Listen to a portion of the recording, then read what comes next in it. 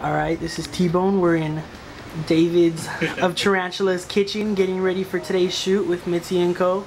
With drag issues. David busting out his fab uh, hairstyling book from the '60s. How you doing?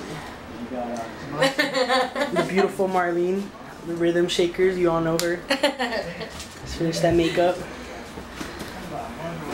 Is that okay? Yeah, Always near cock. the good.